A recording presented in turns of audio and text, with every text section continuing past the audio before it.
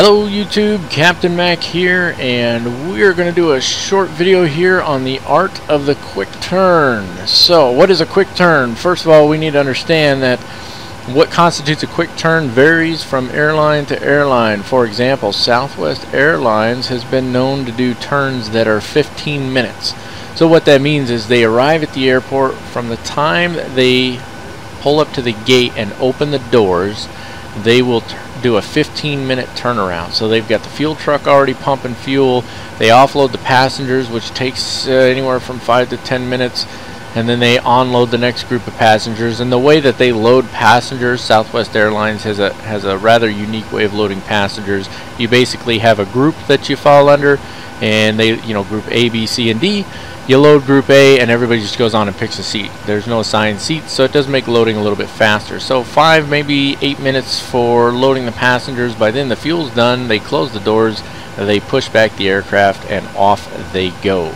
Um, usually their turns take a little bit longer, but that's, you know, it's 15 to 20 minute turnaround times for them. So we can actually do a turn a little bit faster here in FSX because we don't actually have to worry about passenger loading and all that. Um, and when we're using our PMDG NGX here, we can load the fuel straight from the aircraft and so on. So all of that being said, we have just arrived at RJCC. And what we're going to do is a quick turn here. Our next flight is from RJCC to RJTT. So there's a few things we need to do. First of all, when we landed, as soon as we came off of the runway, I went ahead and turned on the APU. So you can see the APU is already running here and that is where we're drawing our power from. We're not using ground power on this one. We are going to need fuel, and our next flight requires approximately 10,000 pounds of fuel. So for PMDG, we can click on the menu, FS Actions, Fuel, and then we just type 10,000 pounds. Just like that, and there we go. And because the APU is running, it's already starting to burn fuel, which means we need to get rocking and rolling. So real quick here, just want to show you this is my, get on over there. That didn't work quite how I wanted. Uh, let's put it right there. I like that. So this is uh, my flight plan right here. Uh, we are uh, Sky 730. Here's the basic information, fuel information. I know it says 9823. I always add just a touch of extra fuel there, especially when I'm using the APU. Here's our ATC route. It's already been put into um, ACARS. I'll show you that here in just a second, and then some information on our alternate planning. We're not going to go through all of this. I just wanted to show you real quick. I do have a flight plan, and this is what we're going off of. So we've already taken a look at all this information in preparation for our quick turn. All of that being said, we've got our fuel in the aircraft now. Let's take a look at our ACARS. There it is right there. You can see I've already got ACARS set up.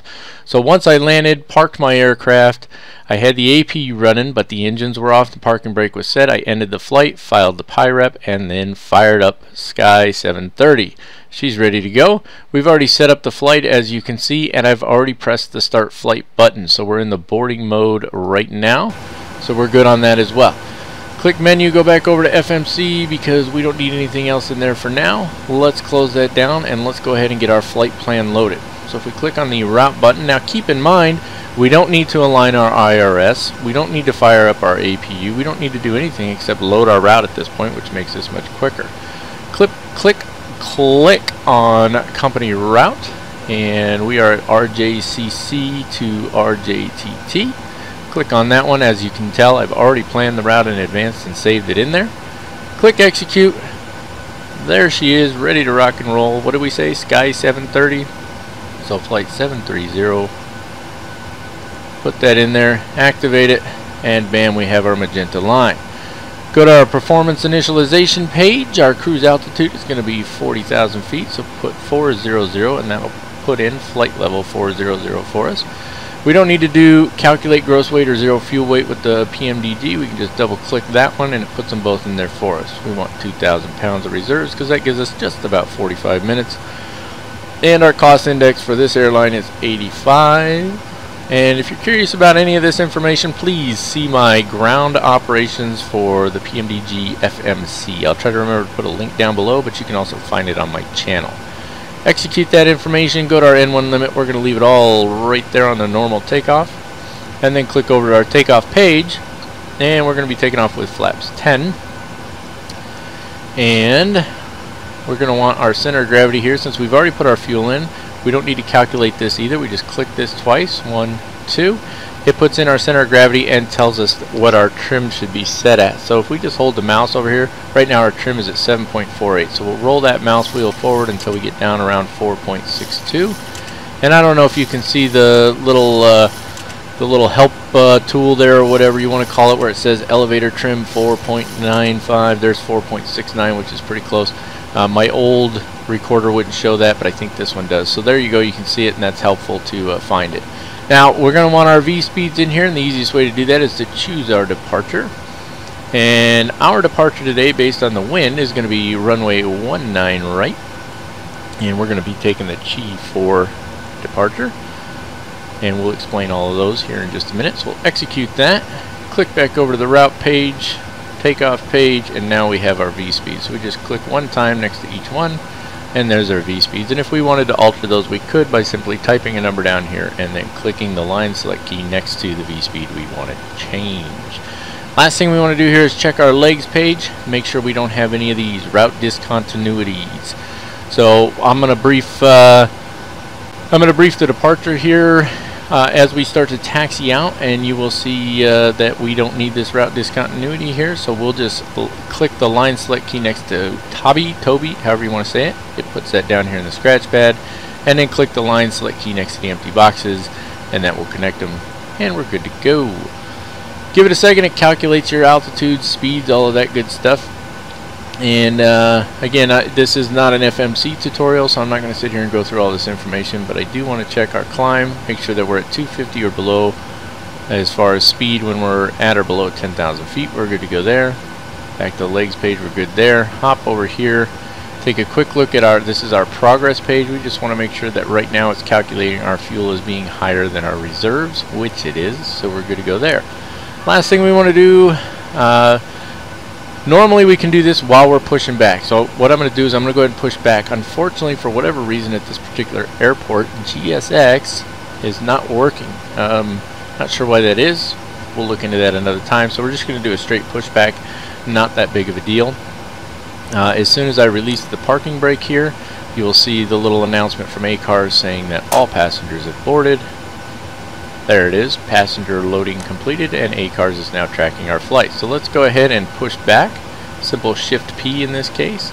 Aircraft starts pushing back, well while it's doing that we're going to go ahead and start one engine here, but first I always, this is just the order I tend to do it in, maybe not all the time. Let's just scroll this up to 40,000 real quick. There we go, 40,000. This is not a startup tutorial either, so I don't want to hear it. That needs to go there. That needs nope, wrong way. Here, let's hop over here so we can see it clearly. That needs to be off, that needs to be there, that needs to be off, and we're good to go, so we can start the right engine there. There she go. As I'm waiting for her to spin up, I'll usually come up here. Sometimes I do this before pushback as well. Scroll that up to 250. Auto throttle arm, flight directors both off and then back on. We'll turn those on in just a second. Once we're above 25 on our N2, which we are now, we can go ahead and add fuel. That'll fire up the engine. Now we can turn on the flight directors. And our MCP is ready to go. Now there's a couple things I didn't turn off on the overhead. Um, they're, they're not a requirement to turn off, but you can if you wanted to. You can turn the yaw damper back off. You can turn off the probe heats like that, and these two would come off here as well. I'm going to roll that to 40,000. That's going to be for our cabin pressurization. And right now we're just waiting for that engine to finish firing up. Make sure seatbelt signs are on. Let the flight attendants know we're pushing back here. And I know I'm going through all this real quick because this is not a tutorial about startup and all of that stuff. We've pushed back far enough. Shift P. And let's put our parking brake on. This is just about the quick turn itself. So all of these procedures and stuff, these are in other tutorials. Uh, you need to know them in order to do a quick turn. Alright, engine 2 is started, so let's go ahead and click over on engine 1 here. Notice that our beacon light is already on before we started our engines. Taxi light is on, normally it would be off, I just forgot to turn it off. So we'll leave it on, it's no big deal. Looking for 25 or higher on here. If you can't see it, pop it up there. There it is, 21, 22, 23, and so on. Once it goes past 25 right there, introduce fuel into the system. Excellent. That engine starts firing up there. Flight controls, that's our yaw damper, in case you're wondering. So we can bring yaw damper back on now. Probe heats. Both of our hydraulic pumps in the center can come on at this point, and we're going to wait for engine 2 to finish firing up and stabilizing before we reintroduce air conditioning and whatnot into the system. If you're in a hurry, you can press B, the B Bravo key, to quickly set your barometric pressure. I went ahead and did that real quick because the idea of this video is to be a quick one, which is not something I'm very good at. So, uh, looks like we're good to go. We're pretty much stabilized on engine uh, number one there. So, with that being said, let's go ahead and turn the air conditioning back on. That one goes there. Auto, these are all auto. And if you want, you can turn off the APU bleed at this point as well, which we have done there. Another attendant call. Let's send everything back over to the APU by clicking each of these switches here, and now we can turn the APU off. Oops, that was the start. There we go, turn it off. And it'll cool down now, hopefully.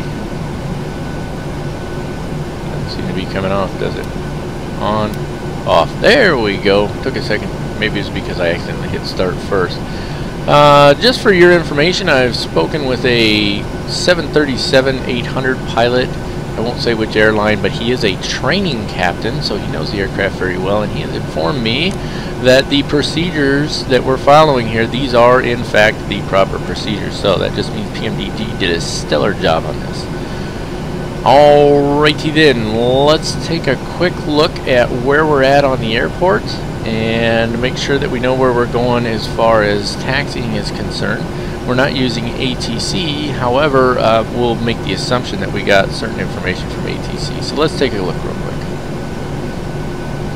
So what we're looking at here is basically our terminal chart. All of the terminals are located generally in the same vicinity of the airport. So we have this zoomed in view, if you will. And you can see you've got your international terminal here, domestic terminal here, uh, North and South Apron. This is uh, JSDF is Japan Self-Defense Force. This is your cargo area over here. And there's, you know, some other information on here uh, regarding the gates, their locations, and so on. Uh, for example, uh, this gives you gates 18 and 19. Uh, we're at gate 18, by the way, here at the domestic terminal. So if we needed our coordinates for gate 18, here's our uh, our lat long coordinates. So there's other information. You've got ATIS on here, tower, ground, stuff like that. So clearance, delivery, and so on. So normally uh, you would pull up this airport chart basically for ensuring you know where you're going when you're taxiing, especially if you're not familiar with the airport. And there's there's actually two charts for this airport, and I'll show you the other one here in a second. But because we're taking runway 19 right, we could just use this chart for uh, our for our taxi instructions. So if we were using ATC, we would get instructions, something along the lines of taxi to and hold short of runway 19 right via Juliet, which is this taxiway here, Hotel 4, which is right here. They might include Hotel 4 and then Hotel, which would be this taxiway, and then Alpha 2. Uh, or they might just say taxi and taxi to and hold short of run, runway 19 right via Juliet Hotel 4 Alpha 2, which would just take us straight across here. And we could use this chart to do that.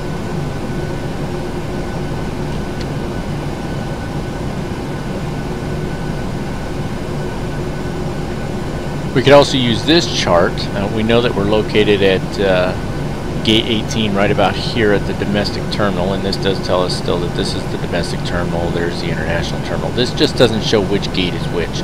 So if we took a, it, let's just say we were taking runway 1 left I apologize for that little pop-up runway 1 left the, and uh, we we received taxi instructions something along the lines of taxi to and hold short of runway 1 left via Tango 1 Juliet Hotel 7 Delta uh, and then what is this down here? All the way down uh, let's say alpha 10 right? So if we weren't familiar with this uh, with this particular airport then we could look on uh, this this map here or this chart. It's not a map but it's a chart. And we would know that Tango 1 is right here. So when we push back we'd pull forward to Tango 1 this is Juliet right here. And Hotel 7 is this uh, exit right here which is at the end and then we know that uh, Delta is the first taxiway we come to. We taxi all the way down, and then Alpha 10 is the last uh, last turnoff on that taxiway. And then we'd hold short of runway one left there. So that's basically uh, you know what you use these airport charts for these uh, airport area charts and this dotted line here this shows you uh, what the other chart that we were just looking at covers so that's your basic uh, you know that's your basic charts for being able to get around the airport uh, these these particular charts are the Lido charts that I get from uh, excuse me that I get from Navigraph um, keeping in mind that if you use like airnav.com, uh, which is a fantastic uh, site, you can pull up these charts, but they're only for U.S. airports. So we're here in Japan, uh, just doing a quick turn, and we want to know where we're going, so we would use those two charts to determine where we're at on the airport and how to get where we're going. Luckily for us, we're taking runway 19 right because that's what the wind's telling us today, so that's what we're going to take. Alright, now that we uh, understand where it is we need to go to taxi and a quick look at those uh, airport charts, let's go ahead and start taxiing out. And as we're taxiing out here, we can uh, do the approach briefing. So let's do that. Sounds like fun.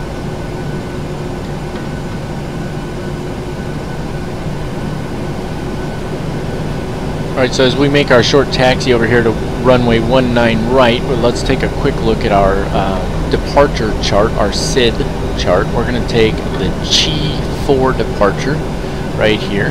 And uh, you can see that there are several departures on the same chart. You've got the Tech 09, HWE 6, uh, what is that, Ufutsu 4, and so on and so forth. So all of those different approaches would be found on this same chart right here. So from one runway one nine I cannot talk. Runway one niner left or right.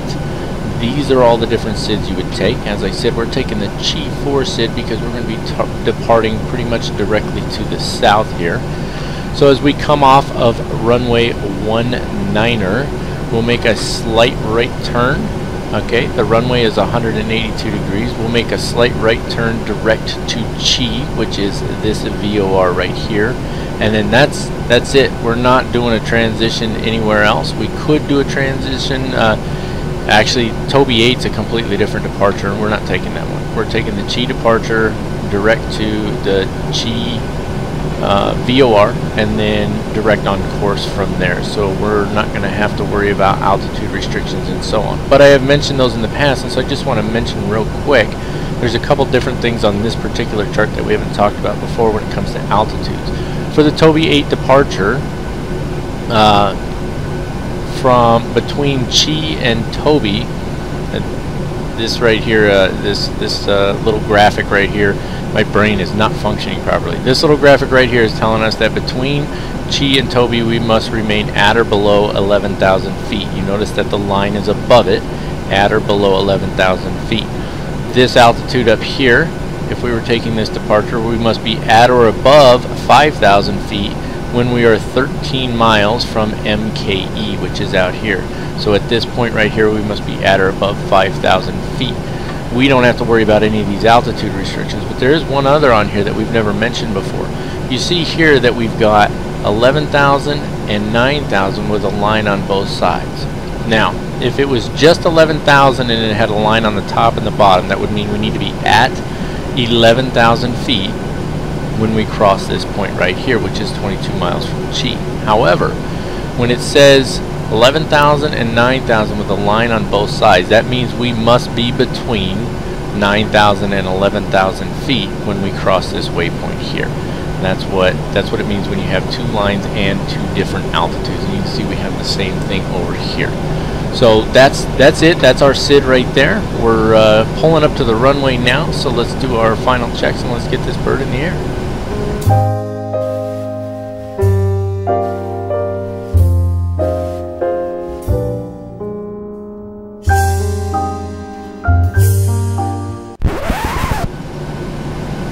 Alright then, our generic takeoff list here, if you will, because I don't actually have a uh, checklist in front of me. We've got our MCP set. Now, we don't have any altitude restrictions, so we already set it for 40,000 feet or flight level 400. Altimeter is set and it is 2980. Uh, MCP is, is complete. Uh, airspeed is set to 250. Auto throttle is on. Flight directors are both on. Flaps are not down yet though, so we want to make sure we go to flaps 10, which should be that one right there. Down there, there we go. Flaps 10. Let's make sure our landing lights are on before we pull out on the runway. And everything else is as it should be. We are good to go. So let's go ahead and pull out here on the runway and let's get this flight underway, shall we? flaps will be all the way in by the time we get onto the runway. Usually I would turn those on a little sooner, but I guess I just had a couple other things on my mind. So we're really light, so it doesn't take much thrust, so we're going to get to uh, rotate speed really quickly here. So let's just go ahead and go right into a rolling takeoff. Try to anyway, without making too much of a mockery of it. The throttle's up beyond 50% engage the auto throttle mode and away we go let's listen for our V-speed callouts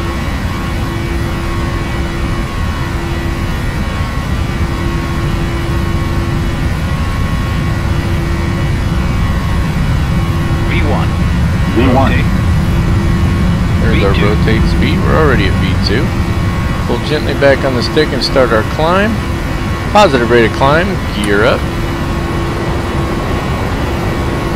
We've got plenty of power, so let's keep this bad boy climbing. We're not going to bring any flaps up quite yet. Gear up. And as you can see, based on our flight director, let's go ahead and bring the flaps up one. There's our first flaps mode coming up. And you can see we're going to make a gentle right turn here, direct to Chi. That's what uh, we see right here on our nav display. So we're not starting that turn quite yet, but we will be here soon. And there's our decel mode. Let's go ahead and bring the nose down just a little bit, line it up with that flight director there. That's the pink uh, horizontal cross. Keep those flaps coming up as we're gaining speed. Start making this right turn. Flight director's not telling us to go there yet. Not sure why. Probably because it's a vector mode when you first start out. Flaps can come all the way up now. And then to simplify it, we can go VNAV, LNAV, and engage our autopilot. There it is. Autopilot's taken over. We're going to fly direct to Chi. And as soon as we hit Chi, then we will continue on course. And that, ladies and gentlemen, is the art of the quick turn. We are back in the air, and uh, not sure how long this video was. Probably took a little bit longer with me recording a video, but when it's all said and done, you can do a quick turn pretty fast. So if you're going to put together a series of flights one day and you want to knock them out as quick as you can, especially short flights, I got four or five uh, basically hour and a half long flights today. I'm going to try and get them all in. So I'm going to be doing quick turns all day. The key is, first of all, if you're a fan of uh, proper livery like I am, then you want to make sure that all the flights are with the same airline, and of course, having all the flights in the same aircraft is important as well. So that's going to do it for this little quickie here, ladies and gentlemen. I hope you enjoyed this video. If you have any questions or comments, please don't hesitate to put them down below, and please give us a thumbs up if you liked it. And as always, I do ask that you subscribe to my channel if you have an opportunity. You know what? Make an opportunity. Subscribe to my channel, ladies and gentlemen. I appreciate it. I had a good time. We're pushing out over the ocean here and off we go. So I will see you all later. Have a fantastic day.